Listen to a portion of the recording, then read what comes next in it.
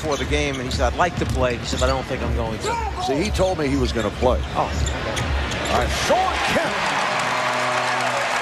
Able to hit. One, San Antonio. Spurs have a front line of Duncan, Robinson, and Ferry, Bowen, and Parker at the guards. Off the turnover, here comes Pippen. Five points. Also has eight assists.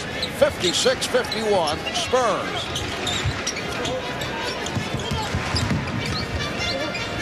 Wells had to give it up. Here's Kemp.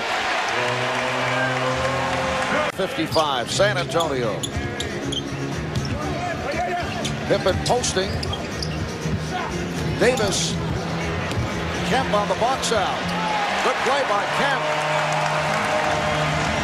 TNT earlier, the Nets over the 76ers, 88 to 80.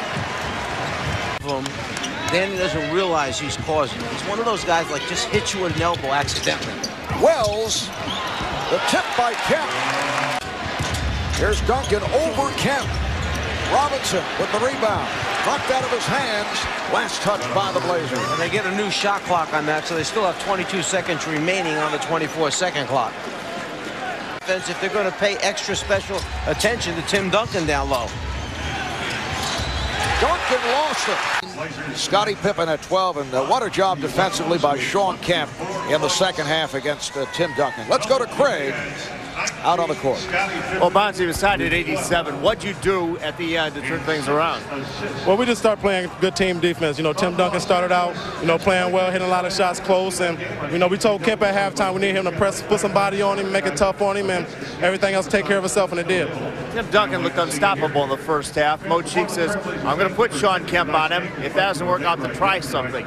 Second half, he had three field goals and four turnovers. What did you do to frustrate him? Well, I tried to front him a little bit, deny him the ball. I think he got a little frustrated, but you know, we all know we can't stop Tim Duncan on a night-to-night basis. Everybody had a good nights and a bad nights. He started off good. He had a bad second half, but he'll bounce back. How concerned are you with Rasheed Wallace's injury? Well, we were very concerned. You know, Rasheed's our man. He's our go-to guy. But, you know, in the games like this, when we play without him, everybody step up. I mean, we should be fine without him on some occasions, but we need him back very bad. But, you know, if we don't have him, I know guys like Shawn and Dale is going to step up every night. Lakers on the horizon Friday night. Let's go back to Marvin Mike.